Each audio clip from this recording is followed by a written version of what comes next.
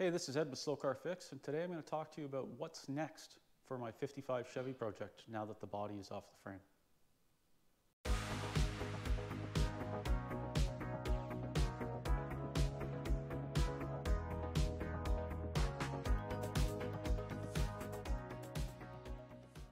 Okay, so I was away for a little bit, had a nice little vacation, and uh, all I thought about the whole entire time was this stupid car. Um, but I guess that's what I'm into. So I spent a bunch of time while I was supposed to be sitting on a beach or sitting by a pool or whatever it was, uh, researching and trying to decide what parts I'm going to use, trying to decide which way I'm going to go, saving some links for some parts that I'm going to buy, all those good things. Uh, I also decided on what I need to do next, which is uh, always the hard part on any project is what's next. For those of you that haven't seen this car before, I've been working on it for a couple of years. This is my 55 Chevy Bel Air. It is a Bel Air. It was a four door. It's now a two door. I can call it a two door because it has two doors. Um, I haven't been doing it as quick as some people can do it. I've been really focusing on trying to do the best job I can. And, uh, and I've had to buy some new parts and finish some projects along the way. So anyways, here I am. Uh, I've got uh, two doors. I've got the body off the chassis as of my last video. Uh, and now I'm gonna pivot my focus to, this, this is gonna seem very odd, but to getting the body back on the chassis. Uh, not today. So I was thinking about um, lining up my door gaps and all that stuff, and I can't really do that with the body off the car. Um, should I have done it before, uh, before I pulled the body? No, I couldn't really because I have to weld, part of the reason I was pulling the body off the frame was I want to weld the underside of the rockers and there's some things I need to do. Um, I spent a bunch of time getting the car strong enough to be able to pull it off the frame. Now that it's off the frame, I need to focus on doing the work that needs to be done to get it back on the frame. And then I can square up the door jambs, uh, align the gaps, all those good things. So let's talk about what needs to be done while the body's off the frame. Uh, the one thing is, while I can lower it down with my jack pump and set it almost on the floor, uh, I need to take that opportunity to strip the roof. So that's one thing. Uh, I have a toe board repair to do. Right in here, you can see where I plasma cut that. Uh, I have to come up to about here and just replace that section. I'm not buying a new toe board. I'm just going to make a new piece that goes in there, a patch, uh, and stitch it all up. I'm going to clean and prep and paint the firewall. It's probably just going to go a satin black for now, um, uh, well, forever, because that's what I want under the hood is all satin black, even though the car is going to be a different color that I haven't told anyone yet. Well, I've told some people, just not YouTube. Uh, I need to strip all this crap off Things like, uh, I think this is the linkage for the pedal. That can go because uh, I'm going with drive-by-wire, so I don't need that. Um, a lot of this crap here, I'm assuming this is the shifter rod or something. Uh, I'm not going to fill that hole just yet. It's not really of concern, but that's going to end up going. I don't know if I have to, if I can run this steering column or if I have to change this column. I'm definitely going with the power steering kit. I've been looking at the ones at CPP. So I'll probably get one of them. Uh, I can't lose my e-brake because I, well, I need to leave the hardware so I can install a new e-brake later, but I need to clean this all up, paint it, and have it sort of ready to go. The other thing that I need to do, this, both sides have new rockers, but this side it's open on the front. I need to get the pieces, well I have the pieces, I need to make the pieces that go in here, go in here. Um, and as you can see, my, walk, my walker, my rocker, and my inner rocker are not clamped or welded together. So that's one of the things I wanted to do while the body's off the chassis. I want to clamp them in. And it's tacked in spots, but I need to clamp it all the way along, and I need to uh, weld it all the way across. Uh, this side I think looks better than the other side. Uh, as I mentioned, like look at this gap here is super tight. It's actually overlapping here. Uh, and then back here it has to come back. So I have to play with all that, but I, I had them pretty close uh, when I put the quarters on, or built the quarters, or whatever you want to say. But uh, then I've had them off, and anyways, they need, the doors also need an extensive amount of repair, but that's going to come at a later time. Uh, so you can see where I stitched on the lower quarter panel, and I've just started playing with some of the metal to metal filler. Uh, I will be using direct to metal products. I've had a bunch of people say that I should epoxy this car first. Uh, I'm not doing that. I'm using direct to metal products. So I'm going to be using a metal to metal filler from Evercoat that goes on here. Uh, that's what this is. It's actually quite nice. Uh, and then after that, I'll be using uh, direct to metal uh, Evercoat Rage filler. And, uh, and then I will prime it and block and forever whatever. But I still have lots of metal work to do. Um, I ultimately have to pull the glass out. Man, this thing's got a lot of things. Okay, the elephant in the room, uh, this chassis. So I'm keeping the stock chassis because I don't have a million dollars to buy roadster, roadster shop chassis, even though I really like them. Um, I'm going to uh, clean it all up, wire brush it, wire wheel it, flap disc it, whatever else I have to do, and I'm going to paint it with that, uh, uh, what is it called? DOM 16, Dominion Sure Seal paint. It is uh, this, this right here. I'm gonna paint it with this stuff, uh, front to back. Um, I'm still not quite sure what I'm doing for rear suspension yet. I've got two options that I'm narrowing it down, and I haven't decided yet. Um, just not sure. So I have to weigh out the pros and cons of cost, availability, and I have to keep in mind that what I want for this car, I'm not trying to make a race car. I'm just making something that's a good cruiser. Uh, I have to look, go over the frame from front to back and make sure there's nothing I need to fix. So far on a quick look, I haven't seen anything that I need to fix. Um, I did see some, it's, it's a seamed frame and I see that there's some stuff up there. Uh, so I might kind of fix that up and just weld that up a little bit. Um, there's no rot, it's just crappy welds, I think from factory by the look of it. So I'm gonna weld that up a little bit. One thing I am gonna do is I am gonna put a brace in across, either way, whatever I do for my suspension, I'm going to put a brace across uh, so it doesn't, the shocks don't go into the floor anymore, they go to a brace.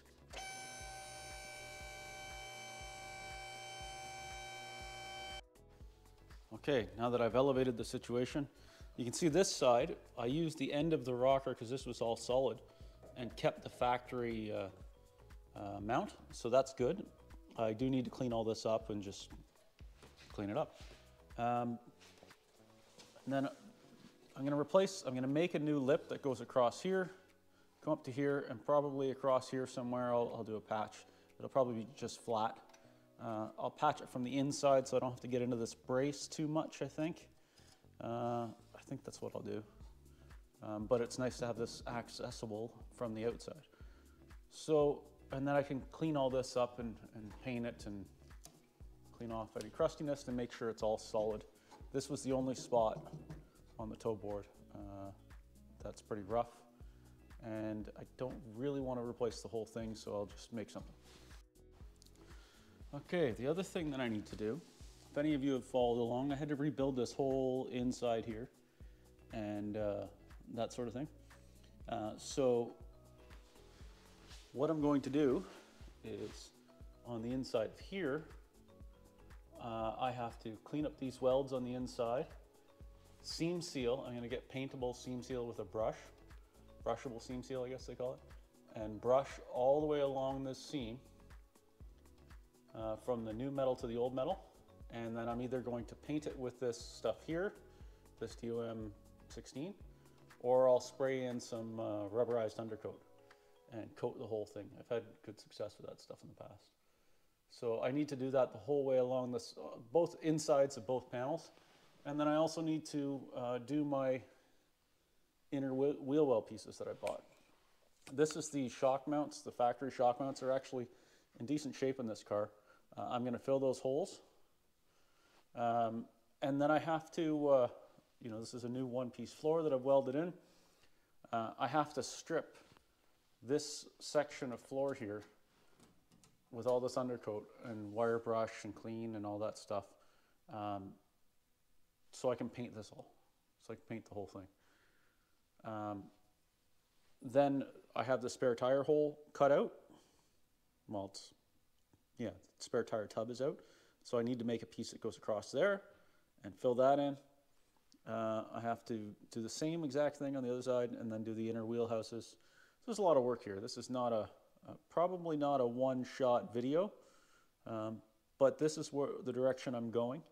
And then as I mentioned, I have to weld all the inner rockers all the way across and then paint everything. Uh, so I'm just working on trying to get it so I can put the body back on the chassis. So this is going to be probably a couple weeks for the work. No big deal. Okay, I like lists, so uh, I'm going to make a list. There's a lot of lists in a project. Uh, I'll have a list later for interior, I'll have a list for body work, I'll have a list for mechanical, I'll have a list for when I'm doing the engine swap and wiring and all that stuff. Um, so this is one of many lists, but I like lists because they're rewarding. As you strike things off, you feel like you actually did something, when sometimes it doesn't look like you did much. To a lot of people, this car doesn't look any different than it did a couple of years ago, but I know that there's been several hundred hours for the work into it. Um, I had somebody comment on my Facebook, I kind of got a kick out of it, saying, uh, what do you mean you're going on vacation? And when are you, how are you going to have your 55 done for spring? Spring of what year? This is like a maybe 2024 it'll be done, and it's uh, February 2023 right now. So, okay. So list uh, to get body back on frame. So body on frame. Uh, so I want to do inner rocker, trunk floor. I want to do spare tire, rocker ends. Wow. Toe board, hatch. Good thing I'm the only one that has to read this. And seam seal quarters, uh, firewall, clean and paint, uh, outer wheel wells, frame, frame, clean and paint.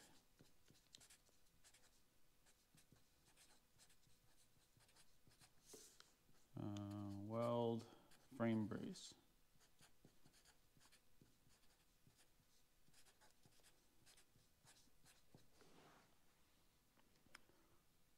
What else do you want me to do? So let's talk about something else here. Uh, this would absolutely be the perfect time to run all my brake lines, to do all my suspension, to do all my brakes, to do all that stuff. However, I'm not going to do that. Uh, there's a couple of reasons why. So the number one reason why is cost. Uh, to lay out, I'm paying for all this myself. So to lay out all that cost in one, one shot, like uh, to do the front suspension, rear suspension, brake system, all that stuff, all in one shot, it's a big chunk to lay out, especially when I'm still working on the body of the car and I just bought a powertrain for it. So I don't want to do all that right away. Um, the other reason is I'm gonna have this frame all nice and painted up and everything. And I still have to paint the car. So I'm likely gonna have to do touch-ups on the frame if I want the frame to stay looking nice, if I care that much. Um, I don't wanna put on all new suspension and all that stuff and then paint the car and have it all covered in paint. Um, so I'll probably do that later. The only thing is if I'm doing a massive change in the rear suspension, like say installing a four link, which is one of my considerations, uh, I will want to do that while the body's off the frame, but I haven't decided yet which way I'm going. Um, front suspension, I can do when the front clip is off the car, or I can do it on, on the hoist with the front fenders on. Doesn't really matter. That's not a big deal. Uh, but what is a big deal is painting the cross member and painting all around the A-arms and stuff. Now, the A-arms, I can paint underneath them after I remove them, but the cross member and stuff, I have to paint obviously before the engine sets in. Uh, so that's important. Um, so that's why I'm not doing suspension and brake lines right now. I know you see that on TV all the time in magazines where they do you know, they'll send the frame out to get sandblasted and powder coated, and then they run all the stainless brake lines, and then they do all the high-end suspension stuff and everything else. That's because they've already got their body straight. They're gonna paint their whole body off the car and drop the thing on the chassis. I'm a little premature with that, uh, with pulling the body off, because I had to pull the body off out of necessity to do these things that I'm just making a list for. So that's my thoughts. That's my process, right or wrong, uh, depending on what works for different folks. It's gonna. This is what's gonna work for me. And then what I'll do is later on I'll do uh, the front suspension. You know, I'll buy all that stuff, and then I'll wait a little while, and then I'll buy all the, uh, um, say the power steering kit, that sort of thing. Uh, if you do it in little chunks, it's a little more manageable. It's kind of like a payment plan for your own project.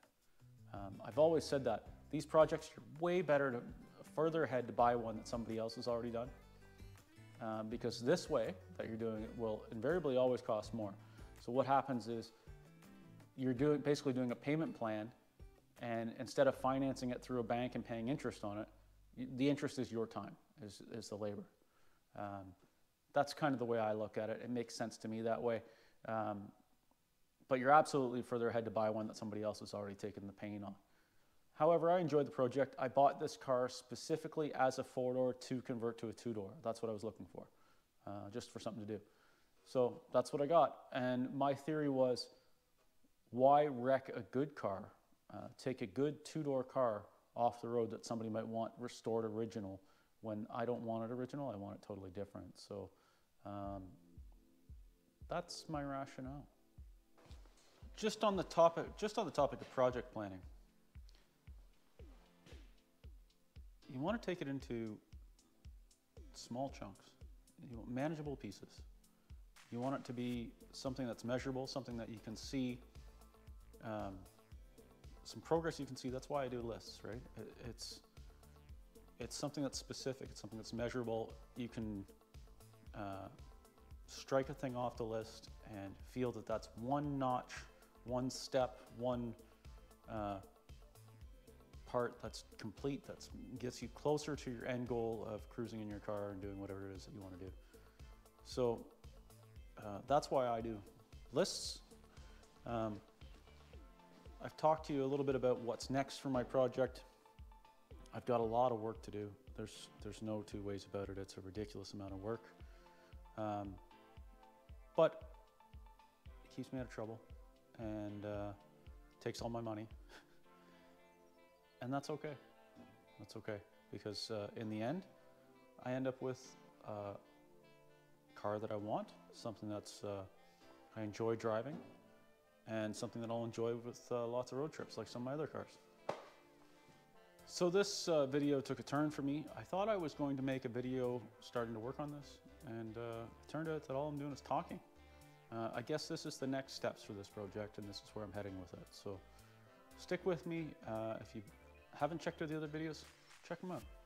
I'm gonna get working, and uh, thanks for watching, and I'll catch you on the next one.